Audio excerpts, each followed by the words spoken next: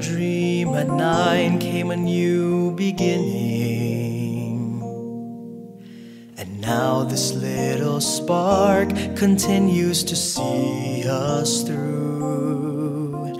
A dream no one thought would change life's meaning.